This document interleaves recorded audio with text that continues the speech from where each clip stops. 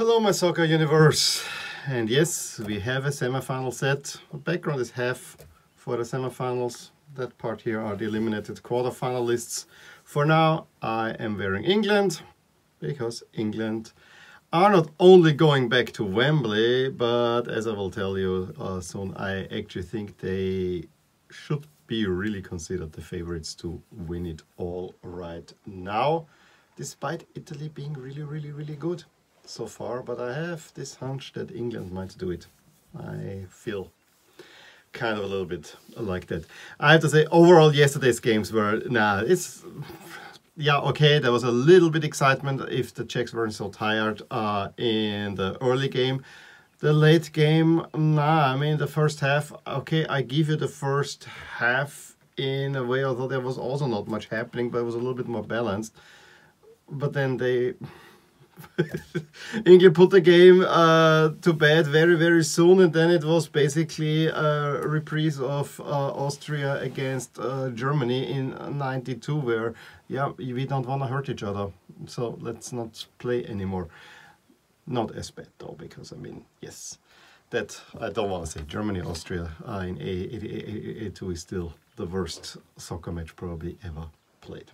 Yeah not much more that I want to say uh, going going ahead. So let's go Czech Republic, Denmark. Um, first of all, I mean, I'm so glad we are out of Baku. Uh, and I think the two worst stadiums in this tournament were Sevilla and Baku. And I have to say, uh, if any stadium was really got the wrong end of uh, the games. It was Baku. Uh, there, I mean, even the Czech Republic Denmark quarterfinal is not a barnstormer.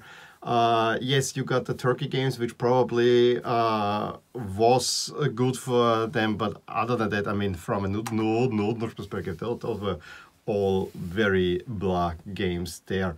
Uh, that was I actually thought of uh, that I had uh, which of the venues actually got the worst set of games. And I think Baku wins that one. Although Sevilla is really, really close, but at least you got, you know, you had Spain there and you had a glamour round of 16 match, although this was the worst of them all. Um, I hear also that, you know, not only do you play in Baku, but the Danish fans were uh, had their uh, rainbow flags taken uh, flags taken off them. Come on, I mean, never should anything have been played in Baku. But this is yes, I know UEFA tries to. Uh, it, to a certain degree, I can't even understand that you want to give it to as many places as possible. And yes, it is easier to hold uh, games in dictatorships and blah blah blah. But please, UEFA, don't suck up so much to these countries. Please. Please. Uh, was again marked by a refereeing decision gone wrong. Uh, a corner kick given for Denmark that should not have been a corner kick because uh, clearly it wasn't if you look at the replay, I, the ball doesn't deflect off the Czech. So uh, Stryger Larsen takes the corner. And then uh, the German commentator said, for fairness sakes, please, this should not be a goal. Of course this is gone, gone, gone, gone, be goal because the Czechs do something really, really weird. They all Delaney is just standing there. I mean, he makes before the before he heads it into the net. He just makes two half steps to jump and put it into the in, in, in, because all the Czech players go to all the other players around and yeah Thomas Delaney is not known for his scoring. So that was an easy 1-0 uh, then I think the Danes had for a few few minutes the upper hand maybe could have added a second but um, by the 20th I think the game was well in balance Czechs threading a little bit, but you could see the Czechs were also kind of tired. And I mean, the heat conditions there, uh, despite this being played low, low, low in the evening, were also not the greatest. So um, the game kind of fell asleep in many ways because the Danes didn't need to do anything. And um, the Czechs just could not. Uh, it was that really there was no not not much there. Um, I have to say though that, that I mean although then the second goal came out of nowhere, it was brilliantly played. I mean if you see it in the replay, uh, especially from behind, um, you you can see there's nothing there. However, Mæhle at one point pulls a little bit back from goal and takes uh, kind of two defenders from the Czech Republic with him. So when the ball, and I think it was from Damsgaard, is played his way, he just goes back and then runs into the empty space, makes a wonderful outside of the foot uh, cross, and uh, Braithwaite misses it, but Dolberg is just there and needs to put it in, in, in, net and celebrating in his uh, very exuberant style again. Uh, and make it 2-0 Denmark, and in many ways you thought that this was the game. Um, really came out of nowhere, but was a beautiful goal. Now, uh, was this the best cross potentially? Although I have to say the one from Yarmolenko to Zinchenko uh, in the uh, um, in the round round 16 was also pretty special, especially with the curl it took. So uh, those were probably two of the best crosses we've seen all tournament. Uh, right after the half, the Czechs came out storming. I had already, I think, one or two good chances to get, get, get a goal in the end. Schick puts one in for Zufall. Uh, assist, typically goal in Schick now is level with Cristiano Ronaldo with five goals. However, the Czechs cannot keep it up, and to be honest, in the end, Denmark probably could have won that one uh, by a more comfortable margin. I think later on Mæhle had a pretty big chance that uh, was saved. But um, the Czechs were just, well, they couldn't do it anymore. And Denmark just had to sit, sit in. And, and, and I think given the weather conditions, this was probably easy uh, to play home. And so Denmark makes it. I mean, when you saw the bracket, I think it was not that unexpected that Denmark will make it to the semi-final.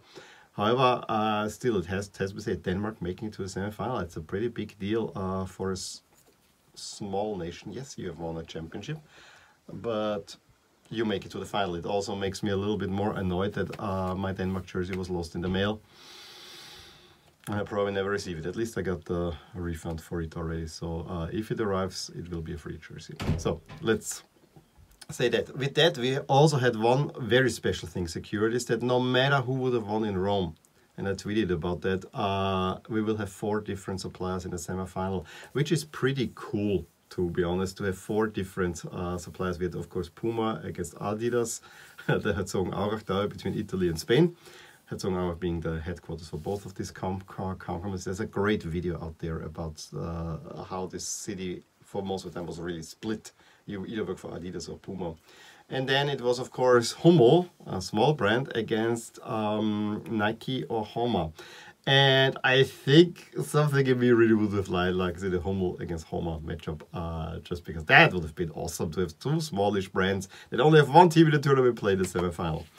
Alas, the other semi-final. I mean, it was almost no car contest. Yes, Ukraine, uh, you did not have Malinovsky, yeah, so you were hampered with that one. Um, you tried your best in many ways, but already early on, I mean, the how the first goal came, it was all Sterling again. Uh, he really should become considered one of the best players in, in, in, his tournament, especially the way when he has the ball, he can attract a lot of attention towards him that opens spaces everywhere else. The only thing is that I have not seen him do a lot is uh, taking advantage and then playing that a nice pass out. However, this time he, he, he did it. He saw a few players and he plays a wonderful pass into Kane, who also with a great uh, world-class striker's finish, just kind of come with the tip of his foot, puts it in into net 1-0 in the fourth minute. And I think everyone kind of knew that this is the game. England then didn't have to do much. Absolutely at all. Uh, it was also not helped that uh, Christoph uh, had to come off uh, mid, uh, kind of midway through the first half kind of the defensive center for Ukraine was gone. At first, it actually helped a little bit because from a 5 um, 5 3 2, they then have to put uh, like the 4 1 4 1 a little bit more, and that actually gave Ukraine for just a little bit. Um, a bit more initiative and they had some half chances. I think it was a Yarmolenko shot that was blocked where you you could see, yeah, if I can get the pass in, um, that might have done some, something, but Stones cleared it uh, rather expertly. Um, but the halftime, very pragmatic. Um, Southgate seemingly told his player, you know, putting crosses where Christ, uh, Christoph was. Uh, yeah, Griff. Krivtsov, Krivtsov, not Christoph, Krivtsov uh, has been uh, playing because there's a big gaping hole in the Ukrainian defense. Yeah, free kick uh, after foul foul against um, Shaw takes a really nice uh, free kick. Maguire just bullets it in. 2 0 England, 46th minute. Little bit later, Shaw, another nice cross. Kane puts it in. Kane suddenly scoring goals. So we have now uh, Sterling with three and we have Kane with three. And then to top it off, Henderson, you know, there were done a lot of changes, uh, especially in English squad. And then uh, Mount plays, uh, I, I, think it was another corner, kick that Henderson heads in. Three headed goals. I mean, this was so English, three headed goals. I told my wife, especially when, when Maguire scored, this was the this was the quintessential English goal in many ways. Just uh, a defender towering up there and putting it in. This is how, if you ask me, an England goal. This is how an England scored. And yeah, England scored as many goals in that game as they have done all tournament. The game after that was boring as can be. Uh, gave me a lot of time to scroll uh, uh, on my phone my fav favorite scene at the end was, I think it was around the 86th, 87th minute, when Shevchenko wanted to give three players some uh, Euro experience. They have was no chance that they come off because the ball didn't go in the, uh, uh, wasn't played out or uh, goal kick because it was just pass, pass, pass, pass, pass. Oh yeah, okay, you take the ball, then pass, pass, pass, pass, pass, and that's how the last few minutes fell. Those three players were standing there for four minutes and couldn't come on. And it was not made better that Brych, exactly 90 minutes, called it a game. Brych was the only referee in the quarterfinals that didn't make a mistake, I think. Uh, however, he didn't. There was not really a big chance to make a mistake. So yeah, that was that. So with all that, England move on to the semis where they will play Denmark. So uh, everything now moves to Wembley. Uh, I'm a little bit worried because the Wembley games were not that great because the pitch kind of did not look that great and now having two games back to back at Wembley might be weird. I think the atmosphere will, will be great. I hope that both games will see uh, some spectators, although I realize that with the new corona delta variant this might not be seen that favorably so i can understand that too i think that the england fans will be absolutely uh, beyond themselves but you know denmark has beaten england just recently at wembley although in an empty stadium and I also think that the Danes look already a little bit tired as well. And and now that's why I'm saying I think England. If you look at the entire tournament, what Southgate did uh, remember the graphic I pulled up at the very beginning in my, in, in my preview where I said that this England team is overplayed. Southgate has done an excellent job. England have not been a joy to watch in many ways, but they managed the, the tournament. They only exerted themselves for a little bit here, here and there, got maybe a goal, uh, got the job done and then didn't put a lot of effort in. I think the one uh, game where they really were trying to um, fight was against Germany, of course uh, where they had to exert them a little uh, bit. But you know he can bring in players. I mean, he had Sancho stars starting now when everyone was clamoring for Grealish, um, and Saka was uh, because Saka was out. You know, all these things that the squad is deep. He gives minutes here, gives minutes there, um, tries to not um, make games too complicated. They have not conceded a goal yet, and they were not even really in danger of conceding a goal because you kept it uh, tight at the back.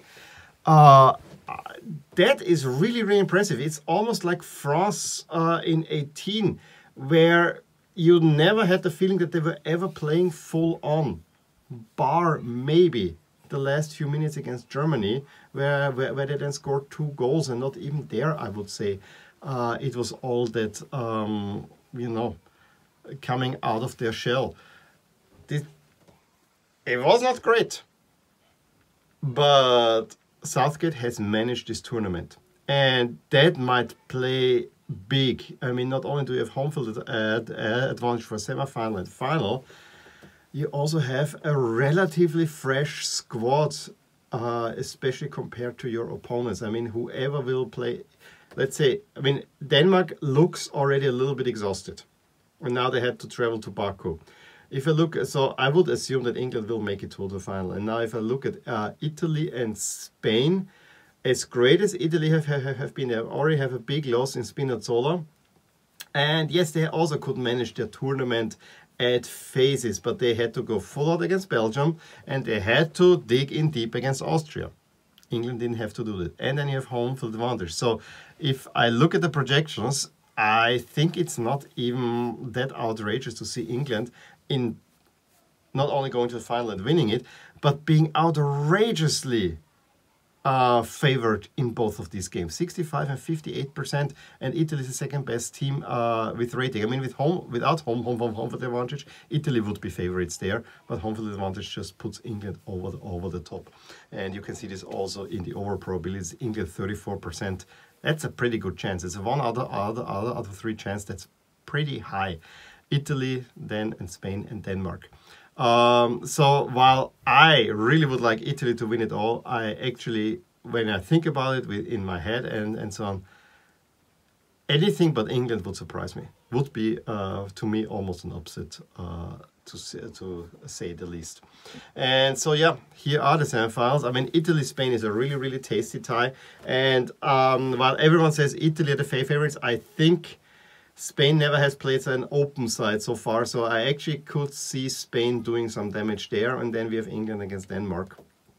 Uh, that I think will be atmosphere-wise the more amazing game. However, I feel that the first game will be the better one to watch. So yeah, let me know your thoughts on the quarterfinals yesterday and how you see the tournament going forward. Is England really the big favorite? I actually think they are. I really think they are. In any case, give me a thumbs up if you enjoyed this video, subscribe to my channel if you want to see more, and I will talk to you soon. Bye! Hey, just in case you enjoyed this video, here are some videos and playlists that you actually might enjoy too. Also, please consider following me on social media and actually subscribe to my channel so that you stay updated with everything that happens in my soccer universe. And with that, have a wonderful day. Bye!